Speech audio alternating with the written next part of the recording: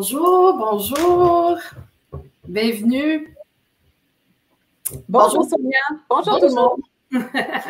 Alors, bienvenue à notre labo carrière de CIG pour les femmes en IT. Ah, mon nom est Sonia Pekora, directrice de l'acquisition de talents pour CIG Canada. On est très heureux aujourd'hui d'être ici pour célébrer la Journée internationale des femmes et pour aussi lancer notre labo carrière de CIG pour les femmes en TI qui s'éteindra le 13 et 14 mars en anglais et en français. Puis nous avons prévu plusieurs sessions, euh, vraiment différents sujets, un peu de, tout pour vous aider.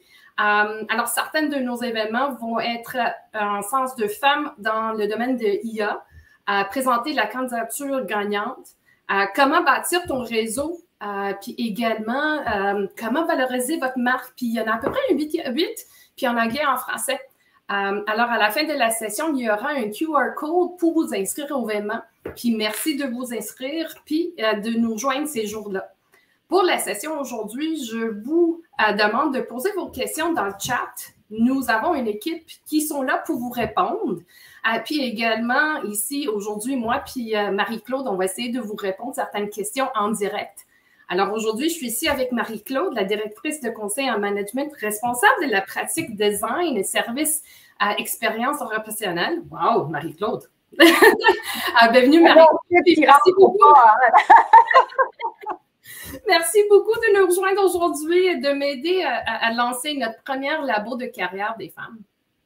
Mais ça me fait plaisir. Merci beaucoup de m'avoir invité. Puis merci beaucoup à tous ceux qui sont là euh, avec nous. Et comme Sonia le disait, c'est une discussion entre nous. Alors, euh, n'hésitez pas à utiliser le chat et euh, à nous poser des questions.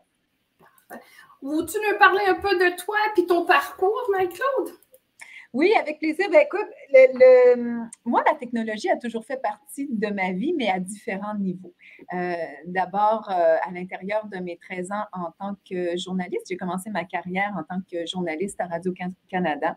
Euh, j'ai cofondé également trois organisations. J'ai fait un superbe passage dans le monde des télécommunications puis par la suite en consultation. Donc, euh, à Radio-Canada, je suis arrivée quand on faisait euh, la refonte euh, des sites web dans l'Ouest, dans l'Ouest canadien. Alors, j'avais un rôle multiplateforme. Il fallait repenser un peu comment on allait mettre le contenu dans le cadre des, sites Internet. Et, je me souviens qu'au départ, ce que l'on faisait, bien, souvent, souci d'efficacité. Puis, puis on apprenait également. Hein. donc, euh, ce que l'on faisait, c'est que euh, on utilisait les, mêmes textes à peu près pour, avec une petite variante, puis on, le mettait dans le site Internet et puis euh, ben, les gens nous appelaient, nous écrivaient avec beaucoup de bienveillance, puis nous disaient, ben, écoutez, on, le sait que c'est nouveau, mais c'est qu'on ne voit pas la différence quand on écoute les nouvelles, la radio et le site Internet, fait qu'on a beaucoup appris avec eux, donc ça a permis de faire évoluer aussi le modèle et mm-hmm. euh, évoluer avec le besoin client, mais ensemble aussi dans la co-construction. Euh, j'ai fait partie aussi de l'intégration des médias sociaux. Euh, Facebook et Twitter, ça, ça, nous paraît loin, mais ça ne fait pas si longtemps que ça. Et on a composé avec un branding, avec de la gestion de réputation, de la gestion de risque également, de la marque. J'ai eu la, chance aussi de faire partie, et ça, c'était vraiment un très beau projet, avec la Clinton Global Initiative. Donc, c'était un autre CGI, CGI, avec l'ancien euh, président Clinton, avec euh, ça faisait partie de sa fondation. Donc, nous avions euh, différents partenaires pour permettre à 25 000 femmes d'améliorer leur autonomie financière grâce au téléphone intelligent. Alors, euh, de cette façon-là, ben, on, la technologie permettait justement euh, d'aider ces femmes à améliorer non seulement leur niveau de vie, mais également leur éducation euh, financière et, littératie. donc, j'ai fait différentes missions aussi de parcours à travers la consultation. Donc, la technologie, ça touche différents secteurs très vastes. C'est plus comme c'était avant où on était surtout sur du code, du maintien de réseau, euh, maintenant, ça fait partie de nos vies euh, de tous les jours. Et il y a de très belles carrières à faire avec euh, la technologie qui, est en fait un, le, la bande passante finalement de cette mm-hmm. carrière-là. Effectivement. Puis c'est ça, comme tu as dit, le, le TI n'est pas des personnes dans une petite salle qui fait du contenu. Beaucoup de choses. Non, il y en a encore, mais c'est tellement large. Euh, maintenant, ça a beaucoup évolué. Et puis, euh, et puis tant mieux. Euh, et c'est positif aussi. Il y a beaucoup de positifs autour de la technologie. Effectivement, oui. On va commencer avec quelques questions, mais je veux juste dire, euh, euh, on a à peu près 350 personnes avec nous aujourd'hui. Alors, j'espère qu'on va avoir plusieurs questions. Euh, j'ai préparé quelques questions, mais n'oubliez pas, s'il vous plaît, mettez vos, questions dans les commentaires, puis notre équipe va nous répondre, mais aussi, moi puis Marie-Claude, on va essayer de répondre quelques-uns aussi aujourd'hui. Alors, une de mes questions, puis j'ai mes petites notes ici. Quelles ont été les stratégies les plus efficaces pour te démarquer ta marque personnelle dans le monde de technologie? Ça commence avec, euh, oui, une, bonne question, euh, Sonia. Euh, ben, je dirais que c'est important d'identifier ce qui nous distingue, hein, parce qu'on est tous uniques. Et uh-huh. puis, ben, moi, dans mon cas, je, je visualise des choses dans un ensemble. Hein. Je, vois la vie en constellation. Alors ça, c'est une compétence euh, transférable de mon ancienne carrière en journalisme. C'est un peu une sorte de vue, je dirais, euh, d'un écosystème qui, euh, qui, apporte de la valeur euh, à mon entreprise, à mes équipes, à mes clients. Donc, ça me, ça me permet de visualiser un peu des choses qui sont complémentaires, mais parfois qu'on ne pense pas directement compatibles. Et d'identifier des opportunités aussi qui, parfois, ne ben, sont pas tout de suite apparentes, mais quand on pousse certaines étoiles, qu'on change l'alignement, mais là, tout d'un coup, euh, il y a une, opportunité euh, intéressante à valider et ou à confirmer. Donc, c'est un atout euh, en business consulting où je suis. Et donc, c'est intéressant parce que moi, personnellement, je, et vous me direz ce que vous en pensez aussi, pour ceux qui, nous écoutent, je serais vraiment très intéressée à, connaître vos commentaires, mais je trouve que ça permet d'ajouter aussi un lien euh, souvent, on a beaucoup d'experts en technologie et c'est parfait, ça nous prend des experts. Il faut aller en ah profondeur sur des choses qui sont plus techniques et ou très, très pointues. Donc, le fait d'amener dans les équipes des stratèges, euh, d'amener des généralistes et d'amener des experts, bien, on couvre euh, davantage une problématique d'affaires et ça permet de, de, couvrir une opportunité ou euh, de répondre à des défis ou à des besoins qui sont un peu plus larges. Donc, ensemble, on va plus loin. Euh, mais je serais vraiment curieuse de connaître, ben, vous, à la maison, quelle est cette donc caractéristiques qui vous distinguent parce que ça nous permettrait de voir justement un peu plus 360 euh, euh, quelles sont les autres caractéristiques en technologie qui pourraient nous distinguer. Puis j'ai envie de vous poser la question. Sonia, toi, tu es, lead ressources humaines, acquisition de talent au Canada dans un milieu technologique. Donc, quels moyens tu utilises, toi, pour te différencier? Oh, wow! C'est une bonne question. Parce que moi aussi, dans mon passé, j'étais botantie. Euh, J'avais travaillé beaucoup dans le recrutement, mais plus le côté pharmaceutique, un peu de euh, manufacturing, distribution, mais pas vraiment dans le TI. Euh, mais j'avais décidé moi-même de dire non, euh, mon prochain parcours va être vraiment dans le TI parce que je voulais l'expérience. Puis je m'en souviens, quand j'ai fait mon entrevue, la, question que j'ai eue, ben, tu n'as pas d'expérience en TI de recrutement, tu n'es pas un spécialiste, comment tu veux être une directrice de recrutement en TI? Um, puis la question, au début, j'étais comme, hmm, comment? Mais après, en pensant, puis en parlant avec la personne qui je fais l'entrevue, c'était un des leaders ici à Montréal, c'est vraiment de dire mon expérience, mon parcours, j'amène des choses un peu différentes avec les industries que j'ai travaillées. J'étais confiante avec mon expérience que j'étais capable d'amener ça ici à, à puis être capable de, euh, de travailler avec les différentes équipes. Oui, je ne connaissais pas nécessairement c'était quoi que le Java developer faisait ou l'architecte en cloud, mais ça, je l'ai appris, c'est des choses que j'apprends. Euh, puis aussi, de, la partie où je me suis différenciée un peu, c'est ma communication. Euh, deux, c'était ma capacité de travailler une équipe, puis comprendre, puis travailler avec les gestionnaires pour comprendre leurs besoins, d'être capable de les aider. Alors, euh, c'est là où j'ai pris mon expérience, mon parcours, je l'ai amené ici. J'ai mis une twist CG. Euh, puis, puis c'est ça, j'ai amené une différente, euh, différentes façons de faire certaines choses. puis je pense que l'équipe était contente. Puis maintenant, ça fait quatre ans que je suis ici. Euh, puis non, je suis euh, directrice de tout le Canada en acquisition de talent. Alors, it worked. oui, très bien, c'est ça, c'est ça. Good. Alors, j'ai une autre petite question pour toi. Quel conseil donnerais-tu aux femmes qui souhaitent lancer leur carrière, en technologie? Ben, ben, hmm.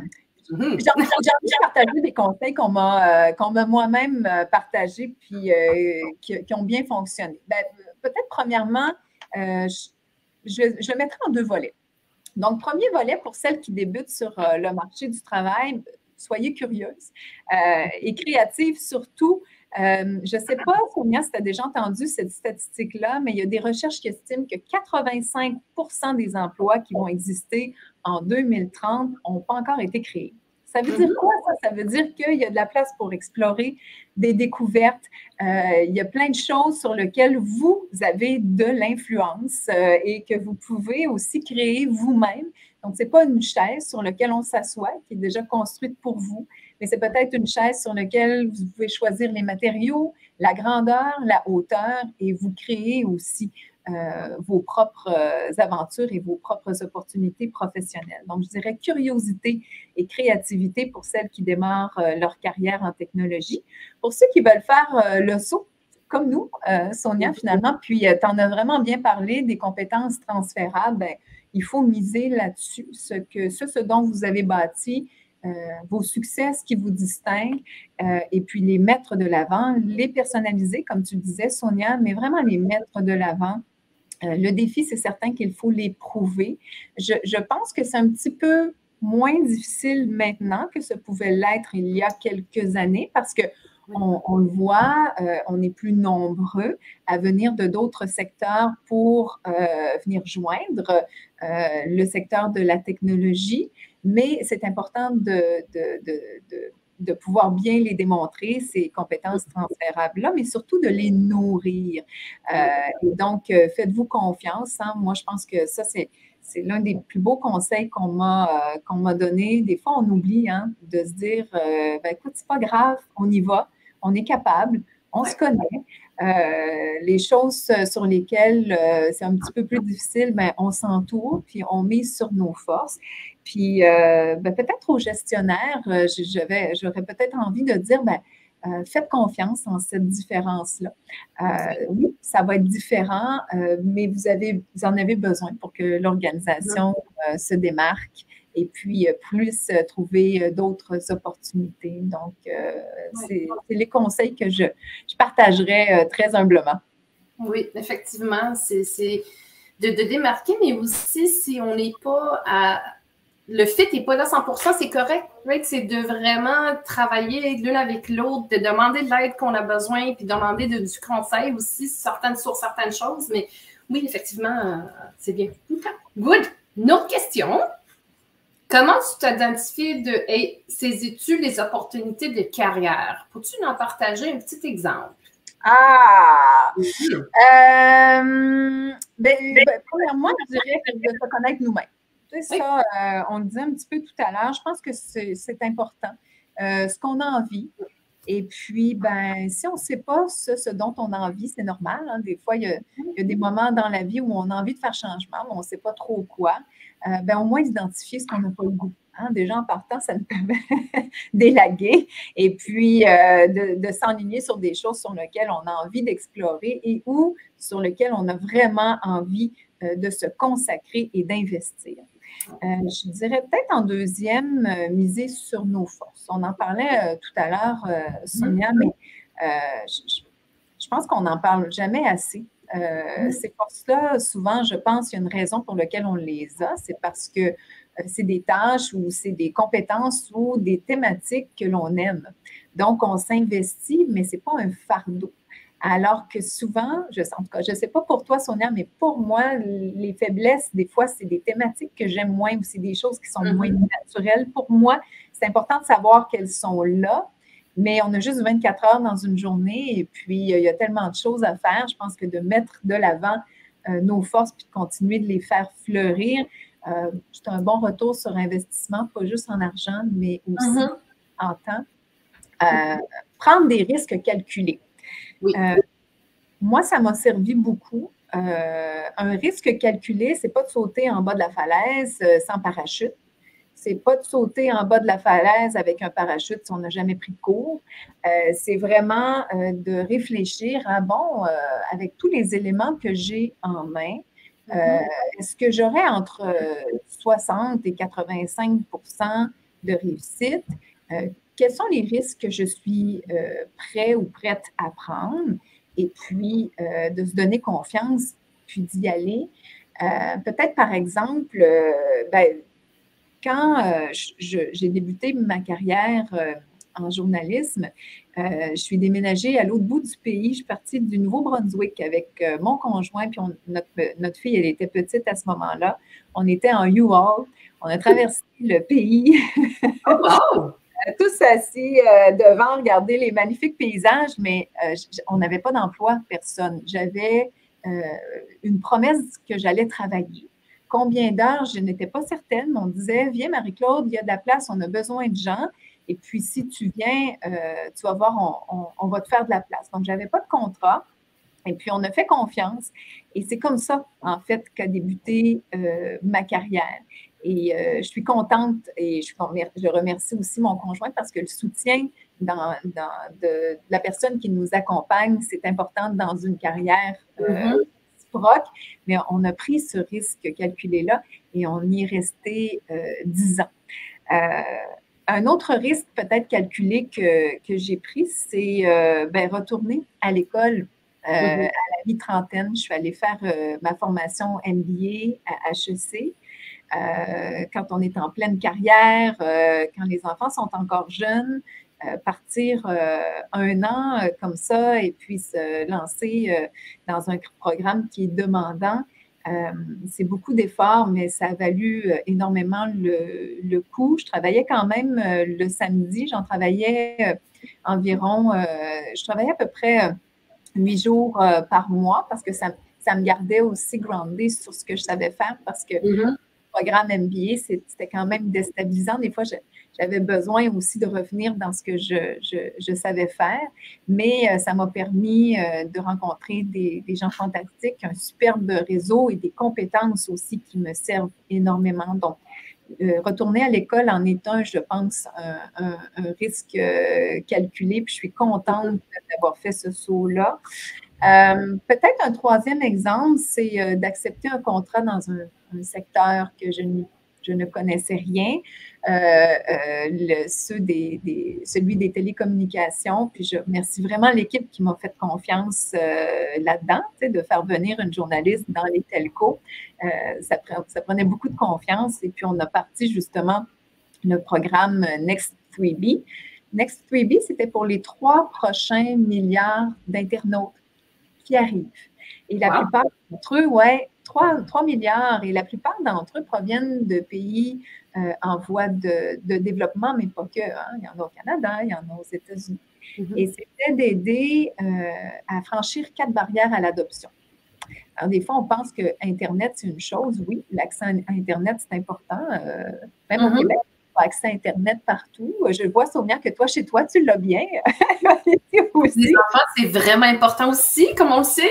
absolument, absolument. Mais ce n'est pas le cas. Même au Québec, ce n'est pas le cas partout. Alors, euh, euh, un peu partout dans le monde, ce n'est pas toujours le cas non plus. Le coût. Euh, Next c'était l'accès à travers des téléphones intelligents. Donc, ce n'est pas tout le monde qui peut se procurer à la fois le téléphone et, et payer aussi pour, pour l'accès au réseau. Mais par la suite, c'était l'éducation c'était la langue. Euh, et donc, on a développé une application euh, qui euh, touchait des femmes qui étaient illettrées, qui ne pouvaient pas non plus donc parler l'anglais et qui parlaient une langue qui, même à l'époque, Google ne traduisait pas. Alors, je, vous donne la langue si vous voulez aller faire, y jeter un petit coup d'œil. Peut-être que maintenant, Google la traduit. Ça s'appelle Oria, O-R-I-Y-A en Inde, mais à cette époque-là, Google ne traduisait pas la langue. Donc, on s'est quand même cassé la tête. C'est un très beau défi intellectuel, humain aussi, en lien avec la technologie. Euh, pour favoriser euh, une adoption euh, positive. Et, donc, c'était quand même, quand même un, risque parce que, ben, on regardait à gauche, on regardait à droite et personne n'avait fait ça jusqu'à présent. Donc, il fallait mm-hmm. faire confiance en équipe. Puis peut-être dernier, dernier, dernier point pour, pour peut-être un, un, conseil comme ça, c'est de ne pas avoir peur de se planter. Euh, honnêtement, là, euh, on n'a pas le choix. À un moment donné, si on veut apprendre, ça prend certaines cicatrices. Hein.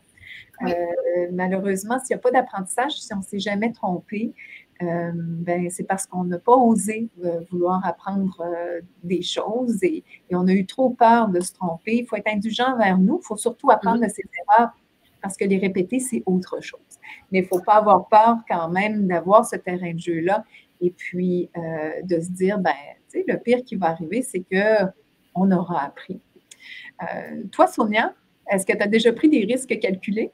Ouf, plusieurs.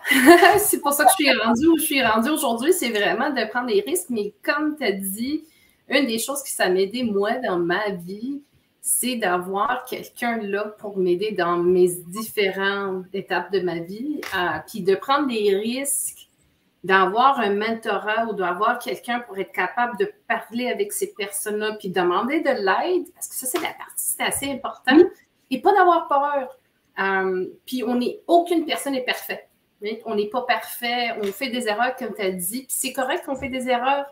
Euh, si quelqu'un nous dit non, it has to be perfect, ça doit être parfait, non, il n'y a, a, rien qui c'est parfait dans la vie.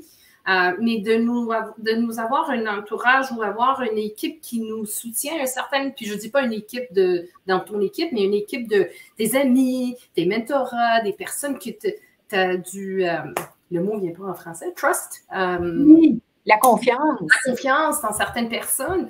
C'est là qu'ils vont t'aider à, poursuivre ton, ton, ton, ton dream, puis qu'est-ce que tu aimerais faire. Est-ce que ça t'a aidé? Parce que je vois une question de Julie. Merci beaucoup, Julie. Euh, comment, comment on a réussi à concilier travail, famille, puis avoir une, carrière? Est-ce que ça t'a aidé, cette confiance-là, euh, Sonia, pour, pour la famille? Puis sinon, qu'est-ce qui t'a aidé justement à concilier et qui t'aide encore à concilier tout ça? Mon conjoint, c'est sûr.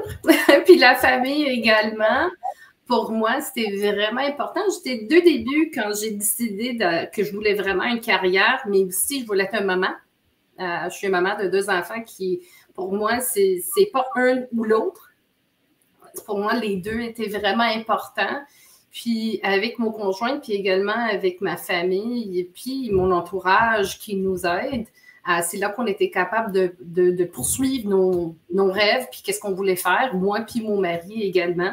Alors, euh, oui, non, c'était, j'ai jamais, j'ai eu des questions dans ma vie où certaines personnes ont dit one or the other, un ou l'autre, mais j'ai jamais fait cette décision-là. J'ai dit, je veux les deux, puis j'ai les deux, puis je suis très fière d'avoir les deux.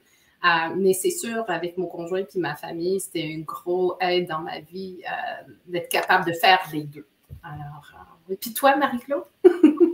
Ben, écoute, euh, oui, effectivement, on a besoin d'un réseau absolument. Je pense que la, Ben, moi, c'est arrivé euh, quand même très tôt dans, la vie, euh, à l'âge où habituellement les gens, les gens sont dans les bars, mais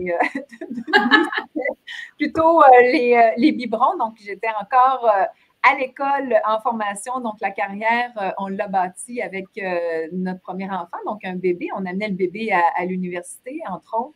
Et euh, d'avoir des gens aussi, tu sais, quand on parle de réseau, d'avoir des gens euh, conciliants, ça part des établissements scolaires, ce que j'ai eu, euh, mm-hmm. et des, des, employeurs aussi, ce que j'ai eu la chance d'avoir tout au long de, de, ma carrière et encore à CGI, parce que ben, mm-hmm. parents, on l'est à vie. je me considère très, très, très chanceuse qui est de ce grand respect-là euh, d'avoir une barrière entre le travail euh, et la famille. Après 18 heures, euh, le mot d'ordre, c'est vous préprogrammez vos courriels. Hein. les gens le regarderont le lendemain. Donc, ça, je, je, me sens respectée aussi beaucoup là-dedans. Fait que ça, c'est important d'avoir des employeurs qui le, qui le respectent. C'est vraiment la clé. Puis après, ben, c'est de d'accepter qu'il y a différentes phases dans une carrière, même en technologie. Euh, il y a des moments où il faut être plus souvent à la maison. et des moments où là, on peut se donner davantage dans notre carrière, donc d'accepter qu'on n'est pas des robots.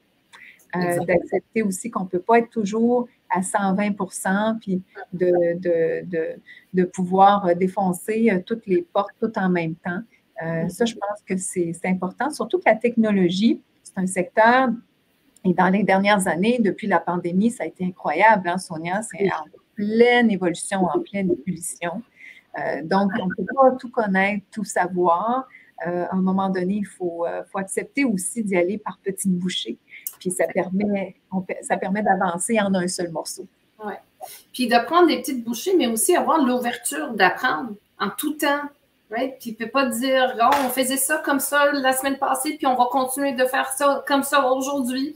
Non, ça change. Alors, euh, d'être prête à changer, d'être prête à grandir. Euh, puis des fois, oui, ça prend deux ans. Des fois, c'est un peu plus vite que ça. oui, ça, c'est vrai que le, le rythme, le rythme n'est pas toujours euh, pas toujours régulier.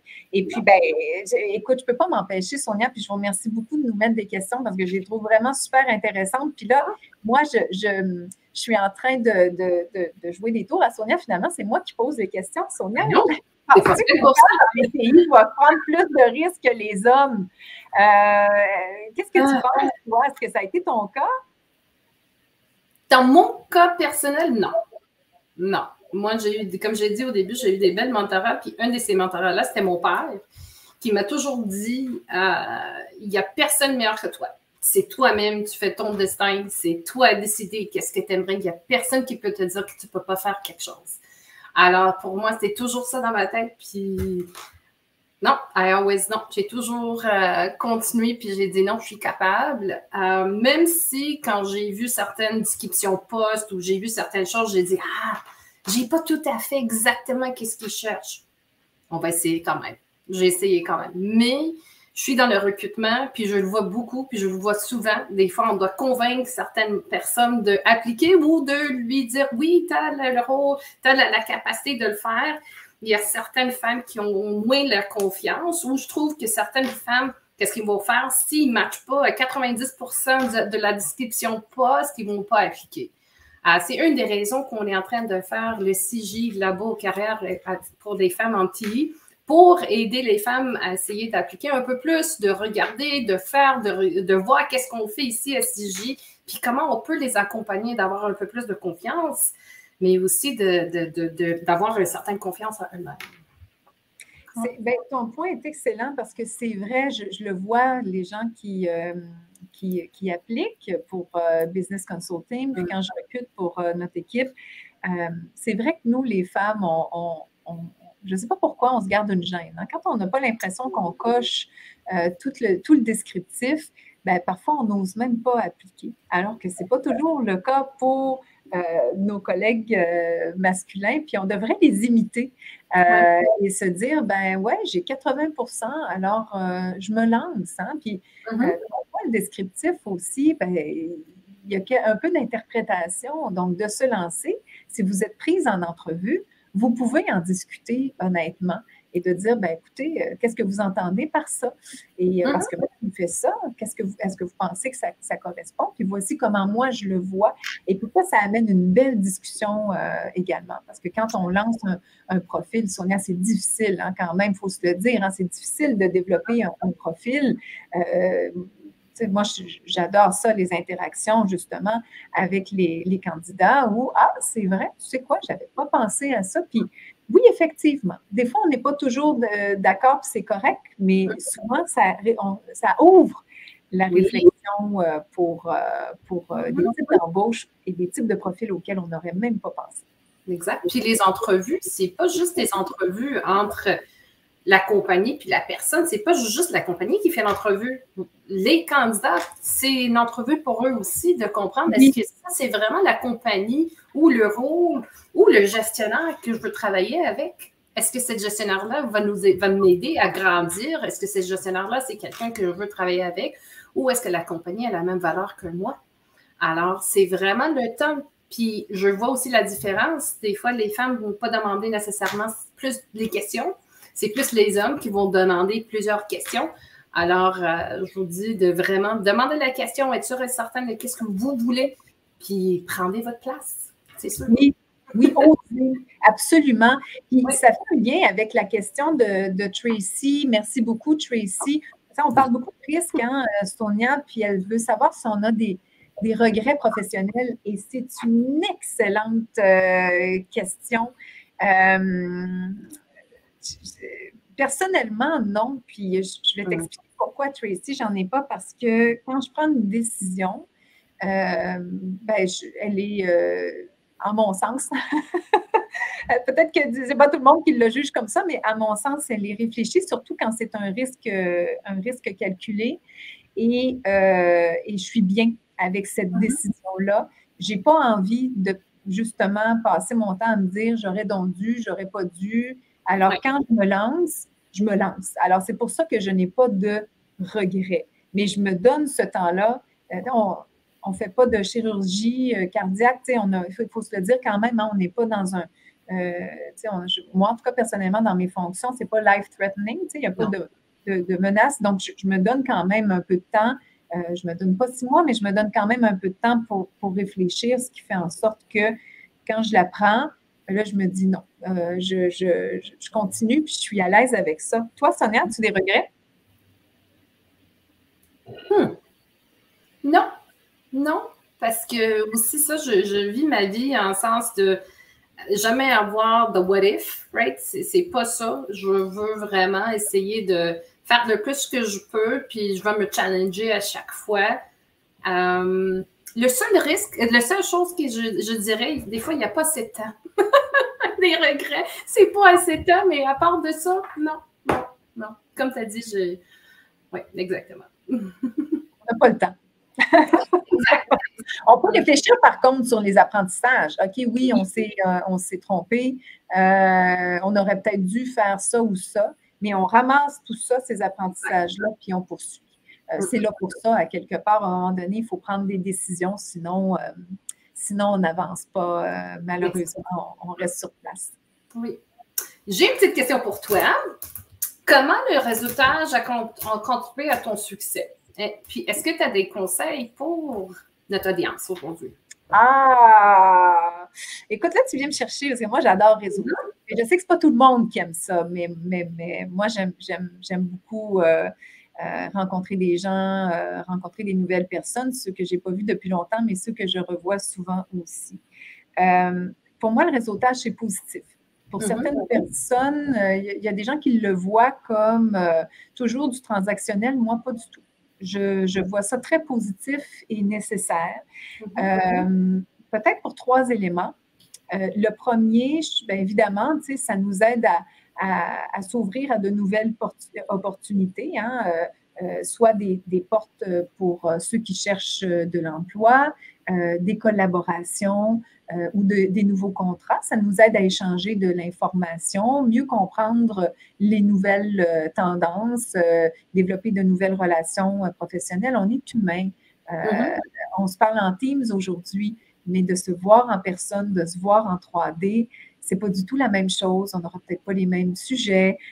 on va découvrir certaines affinités. Donc, je, trouve que pour accéder à de nouvelles opportunités, euh, c'est excellent. Peut-être en, deuxième point, c'est euh, des conseils. On en a besoin.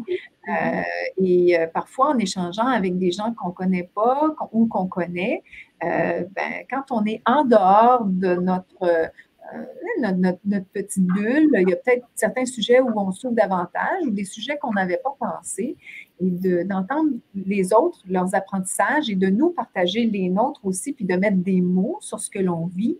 Euh, mm-hmm. je trouve que ça, ça, permet vraiment d'amener euh, soit une autre vision d'une problématique ou des conseils pour la suite des choses. Euh, je vous dirais, par contre, pour bien réussir le, le réseautage, soyez vous-même. Les gens cherchent du vrai hein, quand on se voit euh, en personne. C'est un investissement de, notre temps. C'est un investissement du temps des autres aussi. Donc, je dirais le respect. Moi, j'essaie le plus possible euh, d'être respectueuse du, temps des autres. Pas les, les, les, accaparer dans un coin et puis les garder là pendant 30 euh, minutes. Non, mais il y a, quand même des règles non écrites de discussion parce que tu veux rencontrer plein de gens. J'ai lu un livre d'ailleurs, Sonia, je ne sais pas si pour tous ceux qui sont avec nous, vous avez déjà entendu parler de ce livre-là, mais j'ai beaucoup aimé ce livre-là. ça s'appelle Never Eat Alone et mm. c'est écrit par Keith Ferrazzi, F-E-R-R-A-Z-Z-I, donc double R, double Z. Et euh, je l'ai dans mon Kindle et des fois, j'y retourne et ça parle beaucoup de la générosité des propos. Donc, le réseautage, c'est pas, c'est, pas sens unique, c'est bidirectionnel et c'est souvent euh, beaucoup dans le partage. Donc, on offre et on n'attend rien en retour. Mm-hmm. Euh, et, je trouve que c'est très gratifiant euh, également. Des fois, il y a des gens qui reviennent, puis hey, merci, euh, tu sais, un petit conseil qui paraissait anodin, et, ou juste une discussion qui paraissait anodine, la personne revient, puis hey, tu sais quoi, ça m'a permis de faire ça et de faire ça. Donc, vraiment, Never Eat Alone de Keith Ferrazzi, moi, j'ai beaucoup, j'ai beaucoup apprécié. Un ah, réseau précieux, hein, faut, faut, faut, faut, en prendre soin. C'est long à mm. bâtir, puis malheureusement, ça peut disparaître très rapidement. Non, effectivement. Oui, puis tu as raison, le réseautage, pour moi aussi, je trouve que c'est assez important, puis ça m'a aidé dans ma carrière, mais également, ça j'ai connu plusieurs amis aussi avec le réseautage. Au début, c'était juste un acquaintance, puis après ça, on devient des amis, puis des mentorats également.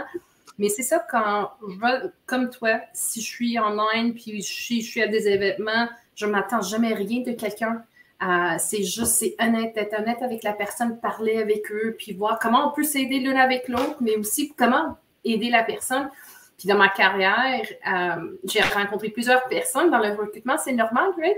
Euh, puis encore aujourd'hui, des personnes que j'ai placées, ça fait 15, 20 ans, puis je vais les voir, je suis en marche avec ma fille, puis dire Hey, my God, tu m'as placé, ça fait 15 ans, puis on parle, puis c'est comme si je, je l'avais rencontré, ça fait une semaine. Alors, euh, non, puis ça, nous amène. Euh, non, je trouve que c'est vraiment c'est important. Je trouve que c'est assez important, puis c'est important qu'on est là pour euh, nous aider de là avec l'autre, c'est sûr. Je, écoute, tu, as mentionné quelque chose, Sonia, puis euh, je bifurque un peu, mais je trouve ça vraiment intéressant, puis je suis curieuse. Tu parlais de mentorat et de coach. En mm-hmm. as-tu et, en, où, et où en as-tu déjà eu et où en fais-tu?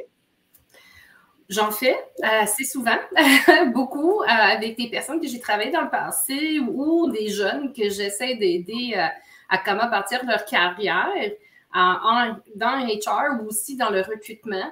Euh, j'essaie de faire ça aussi avec mon équipe à travers du Canada, comment être des meilleurs recruteurs, mais aussi comment aider les gestionnaires, comment aider les candidates également. Alors, parce qu'on on est vraiment dans le milieu. Hein? Alors, ce n'est pas juste nos clients comme nos gestionnaires dans CJ on est là aussi pour les candidats.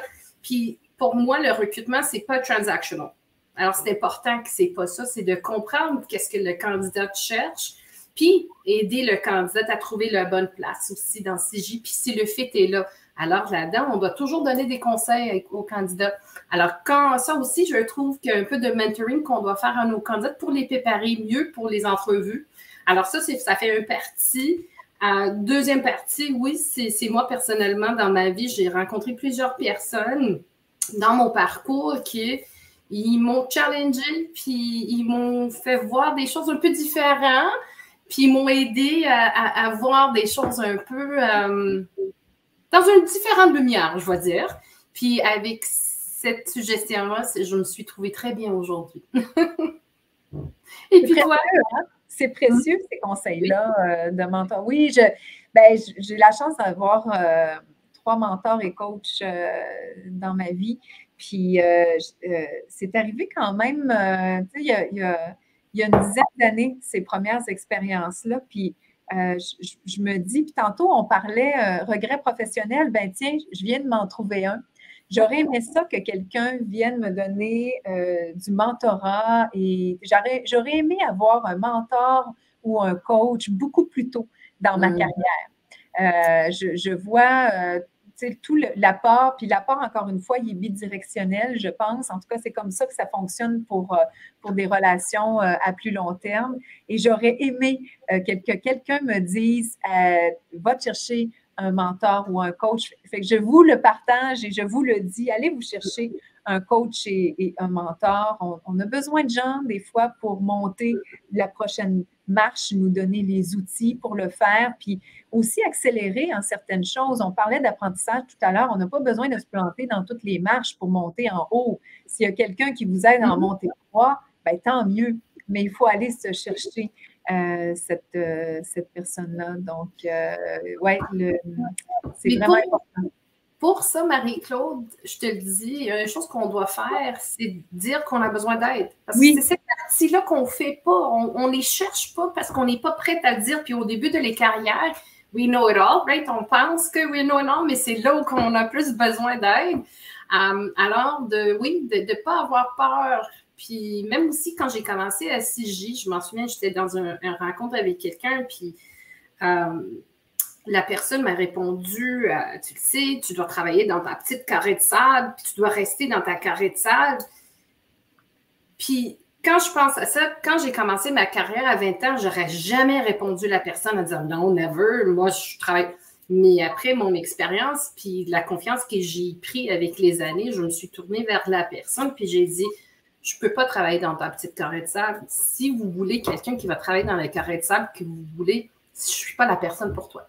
J'étais prête à le dire, j'étais prête à prendre cet risque-là, mais c'est avec l'expérience, mes mentorats qui m'ont aidé à avoir un peu plus de confiance en moi, que j'étais capable de répondre à la personne correctement. Je n'étais pas impolie non plus.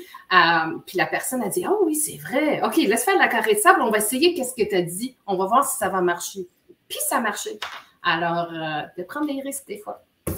Absolument. L'énoncer, puis demander de l'aide. Des fois, on est trop gêné de demander de l'aide. On voit ça comme un signe de faiblesse. Au contraire, c'est un, signe de force. On se connaît, puis on, veut, euh, on veut aller plus loin. Exact. Parfait. Je pense que j'ai une autre petite question. Quels sont, selon toi, les éléments clés qui permettent aux candidats de se démarquer dans leur domaine, dans leur demande d'emploi dans le secteur de technologie? Ben, je pense que ça provient de Jill, donc merci beaucoup euh, pour, euh, pour la question. Ben, euh, quand j'embauche, moi, parmi les trois éléments clés que je recherche spécialement pour business consulting. Donc, ben, premièrement, si vous avez cinq ans d'expérience et plus, j'aime ça regarder l'évolution, votre capacité d'apprentissage, l'adaptation aux nouvelles technologies. Je, veux voir si vous continuez d'être curieux. Mm-hmm. Euh, parce que la technologie, euh, euh, comme on en parle depuis tout à l'heure, ça bouge énormément. Donc, j'ai besoin de, gens qui ont envie de constamment continuer d'apprendre. si on veut bien conseiller nos clients, peut être un bon partenaire avec eux, ben, il faut qu'on soit au devant de la vague. Donc, ça prend des gens qui ont envie de constamment euh, se remettre à jour ou en apprendre davantage ou euh, regarder ce qui s'en vient, euh, etc. Si c'est une personne qui sort de l'école et ou qui n'a pas beaucoup d'années d'expérience dans le marché du travail, ben là, je regarde un peu les éléments de curiosité. C'est-à-dire, ah oui, bon, euh, c'est super, tu as fait une formation, euh, tu as fait ça dans une. C'est super, la formation, ça s'est aligné, etc. Euh, mais tu as beau avoir une superbe cote et connaître toutes les décimales après la virgule pour pi, la formule pi, mais après, moi, ça ne me dit rien si euh, par exemple, le facteur humain, il est là. Si tu es curieux des autres, euh, si tu es curieux d'en savoir en dehors de ton domaine. Puis pourquoi je regarde ça? Ben, c'est parce que euh, business consulting, quand on fait de la consultation, c'est l'humain au centre de tout. Alors, ça prend des gens qui ont envie aussi d'être avec les humains. Si ce n'est pas le bon profil, c'est correct, il n'y a pas de souci mais moi, j'ai besoin de ces gens-là pour euh, venir euh, nous aider au sein euh, de, de, mon équipe. Et puis, la communication, peu importe le nombre d'années d'expérience, je vais aller voir s'il n'y a pas un profil qui explique au-delà du factuel qui est la personne, qui raconte un petit peu l'histoire. ça aussi, c'est important. Les communications, tu en parlais tout à l'heure, Sonia, ben, c'est la base de tout. Euh, il faut qu'on soit capable de, livrer les, messages, qu'on soit capable de bien s'exprimer. Euh, et ça, ben, un CV, c'est, on va se le dire, hein, c'est un, petit peu bête et méchant, c'est, souvent euh, du factuel. Mais quand je vois deux, trois lignes dans un profil qui explique un peu l'histoire, le lien, le pourquoi, en fait, entre le factuel. Euh, moi, ça, ça, ça, ça, pique beaucoup mon intérêt. Toi, c'est quoi? Qu'est-ce que tu regardes, toi, Sonia, qui envoie quand même des centaines et des centaines de, CV par année? Qu'est-ce qui retient ton attention? Qu'est-ce que tu as dit 100%, mais j'ajouterais aussi euh, comment se démarquer un peu plus dans les entrevues, puis aussi dans vos, CV, si vous voulez, c'est de démontrer comment vous avez fait la collaboration. Parce que l'ETI, c'est la collaboration en tout temps. On travaille avec différentes personnes, on travaille avec les clients, on travaille en équipe. Alors, la collaboration, euh, de démontrer cette partie-là, le teamwork également, right? Euh, puis aussi que euh, comment je peux le dire? Comment la personne est capable de, oui, communiquer, mais aussi capable de, de, faire le travail, qu'on a la confiance dans cette personne-là, qu'eux, ils vont faire qu'est-ce qu'il dit, puis qu'il y a une certaine trust avec la personne, puis qu'on. Parce que des fois, on rencontre des personnes, puis on, demande une question, ils vont nous dire quelque chose, on demande une autre question, puis ils répondent différemment, puis il n'y a pas de il de consistency nulle part. Puis tu es comme, OK, mais qu'est-ce que tu as fait? Puis comment tu as fait ça? Puis comment tu as digéré ça? Puis on voit dans l'entrevue, il dit I did, I did, j'ai fait, j'ai fait, mais c'est pas toujours nous, c'est pas toujours toi, c'est nous, on a fait. Alors de voir cette partie-là, la collaboration, comment tu as fait tes choses, comment tu as collaboré, euh, avec ton équipe, avec tes gestionnaires, avec tes clients, avec tes collègues, avec ton école, avec tes étudiants. Ça, c'est important qu'on partage cette partie-là. Comme ça, on va se démarquer un peu plus, parce que des fois, l'expérience est égale. Mais c'est quoi qu'on cherche de plus? C'est cette partie-là. Puis l'autre partie aussi dans l'entrevue, moi, qu'est-ce que je valorise en particulier? Quand je fais mes entrevues avec ou recruitment dans mon équipe ou d'autres, c'est de, de connaître la personne un peu plus et pas avoir toujours comme un, shield, right? mais de juste te démontrer qui tu es, puis c'est quoi tes valeurs, puis d'être sûr qu'il y a un match. Um, alors, quand je rencontre quelqu'un, puis il me parle de leurs valeurs, puis il me parle un peu de qu'est-ce qu'eux, ils cherchent personnellement pour être, euh, pour être bien dans leur travail, c'est cette partie-là que je trouve assez intéressante et assez important pour voir s'il y a un match. Parce que des fois, il n'y a pas, puis c'est correct. Alors, je vais essayer de trouver quelque chose d'autre pour l'autre personne. J'ai assez de connexion, mais de, vraiment avoir une connexion avec la personne que tu rencontres et pas yes, non, je pense, maybe. Des fois, on a des entrevues, puis c'est. C'est pas assez d'informations au détail de comprendre qui est la personne, puis est-ce que la personne est capable de faire le travail, pas nécessairement juste avec l'expérience, mais avec leur personnalité. Euh, c'est ça. Qu'elle le veut vraiment aussi. Hein, parce que euh, ça, va vite, hein? Euh, donc la technologie fait qu'on, on cherche aussi des gens qui sont engagés, euh, des gens qui ont, comme tu le dis, envie de travailler en équipe. Mais c'est vraiment des bons. merci. Tu m'avais jamais partagé ça, Sonia. Je les prends en note. moi, c'est la passion, comme vous, tu vois. Les personnes qui travaillent avec moi, je suis très passionnée, un peu trop des fois. mais c'est ça que je cherche dans les candidats, puis que il veut, puis aussi avec CG, quand est-ce qu'il veut apporter le statut de CG? Je parle ça de tattoo CGI, euh, puis qui ont la même valeur que nous, puis qui veut être ici, puis travailler fort pour eux-mêmes, pour leurs gestionnaires, puis pour les clients. Hmm. Excellent. Bien noté. J'ai envie, moi aussi. oui. Alors, on va voir s'il y a d'autres questions qu'on voit dans le chat? Non, je pense qu'on a répondu celle-là. Merci à tous ceux qui participent. Et puis, euh, on a encore quelques minutes si vous avez euh, d'autres questions euh, à, nous, à nous poser.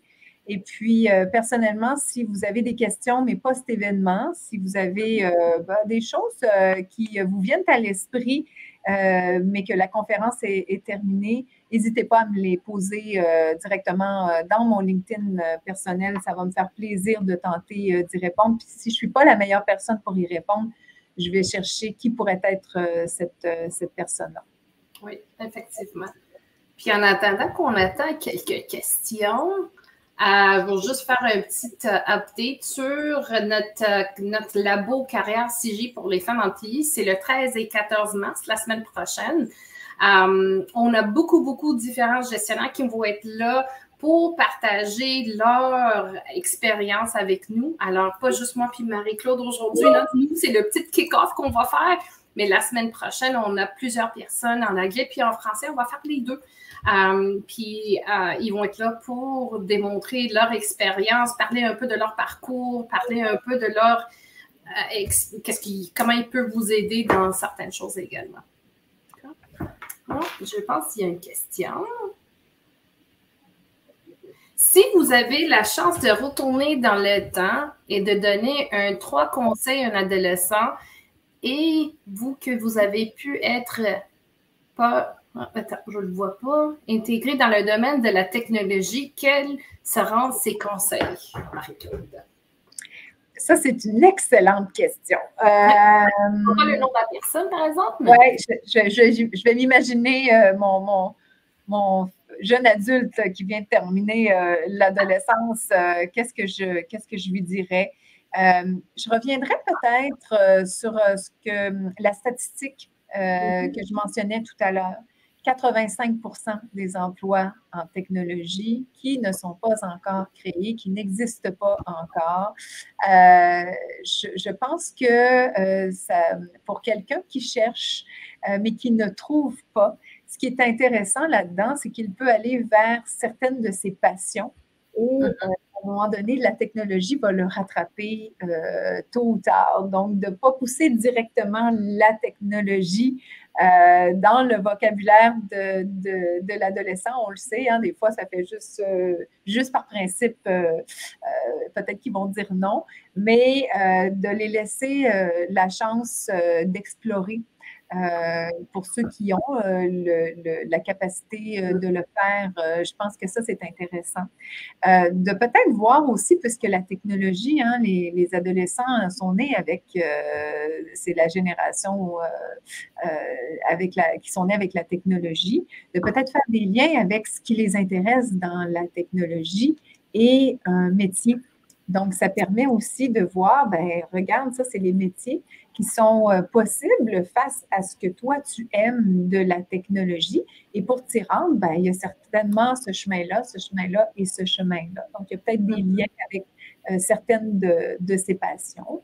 Et puis, troisièmement, ben, c'est d'être curieux, de, de de chercher un peu euh, quels sont euh, le, le, 15% qui existe en ce moment. Et puis, c'est déjà très large. C'est déjà un beau passe-temps à faire avec, euh, avec ces, ces, adolescents. Donc, chercher ensemble différentes, différentes pistes que moi, j'en découvre tout le temps. Personnellement, là, juste en, en, lisant les journaux ou en visitant certaines expositions, il y a des centres qui sont vraiment très, très bien en technologie. Je découvre toujours euh, de nouveaux métiers, euh, de, nouvelles façons de faire. Alors, euh, ça fait des belles activités aussi à partager, je pense, avec ces, ces, adolescents.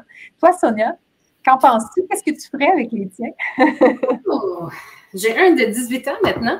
Euh, mais avec eux, qu'est-ce que j'ai fait? J'ai commencé vraiment, euh, quand ils étaient très jeunes, à toujours de les. J'ai jamais dit à mes enfants, fais ça ou fais ça, ou tu dois être ça ou tu dois être ça. J'ai dit, qu'est-ce que c'est quoi qui t'est intéressé? Puis j'ai essayé le plus possible de les faire connaître ou comprendre c'est quoi la différence entre un métier et un autre. Puis également, euh, quand mes enfants étaient en école élémentaire, elementary school, j'ai essayé aussi, on a fait un career day. Alors, je suis rentrée, j'étais en recrutement, j'ai amené différents gestionnaires pour parler de différents métiers. Euh, la même chose en high school avec ma fille. L'année prochaine, je vais le faire avec mon fils également. Ils ont fait un career day à, l'école, puis j'ai amené certains gestionnaires d'un CJ pour parler à toutes les filles de l'école en disant c'est quoi l'IT. J'ai amené vraiment différentes choses, puis je vais faire la même chose pour mon fils. Je suis dans le domaine de recrutement, alors c'est un peu plus facile pour moi.